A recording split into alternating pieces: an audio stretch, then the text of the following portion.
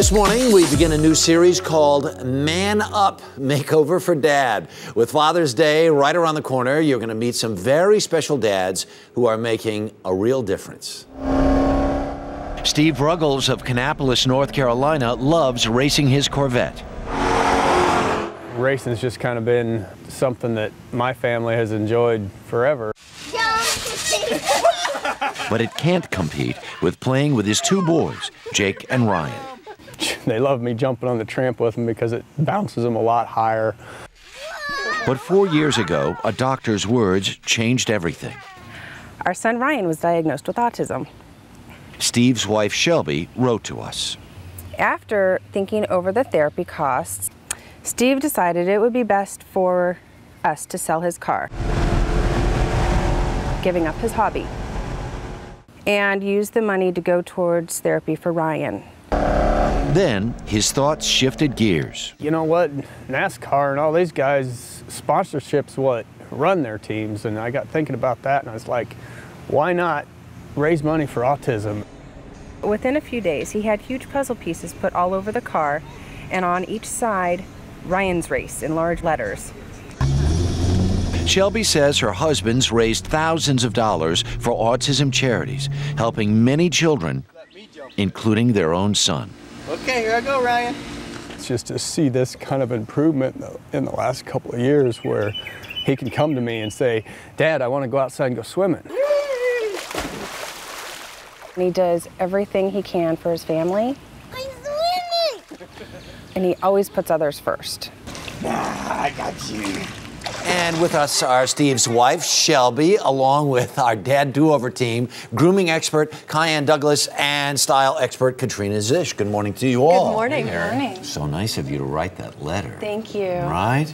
Well, this whole thing is about, you know, paying homage to guys who have done some good things, but it's also really about doing a little kind of getting them up to speed, trying to drag them kicking and screaming into the 21st century. Let's take a look at a before picture. All right, shall we? There he is.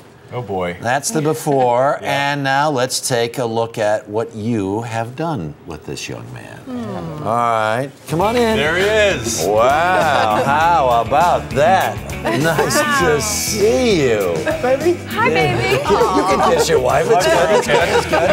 It's good. Yeah. Unbelievable. All right. Now just stand here because we want to get a look at, at what transpired. Mm -hmm. What did you, you saw this man? You said, "What can we do for him?" And who wants to go first? I'll dive in. He's a great looking guy, so it was really easy. The first thing that we did was we went to BriteSmile, gave him a new white smile because it's the easiest way to really improve your look sure. immediately. Right. Then we went to Bliss, and he, he had a facial not only on his face but also on his scalp. Right. And this is a good take home for guys at home and for you too, Harry, because if you're losing your hair, and you can see your scalp, you need to start treating the skin on your scalp exactly the same way that you treat the skin on your face. Uh-huh. So we had a facial and a, a, scalpel too. Right. And then finally we went to the art of shaving and we took care of that beard. He got a, his very first straight razor shave, which he loved. Yeah. Mm-hmm. Yeah. And I know you cool. really liked the beard. Very cool. But I thought for his television debut, we should give him a good clean look. This is great. You great. You like? I love it. Now, what do you think? Justin? when you looked in the mirror after all of this, what did you you what what was your response? I, I love it. it. It's it's clean. It's it's fresh. I really, I love it. You do. You look good, man. He looks great. You look seriously good. Now, what about the what about the uh, the, the clothing the ensemble look here? Yeah. Three important looks. I wanted to consider his lifestyle. I wanted to consider the fit of the clothes, and mm-hmm. also I wanted there to be a personal touch.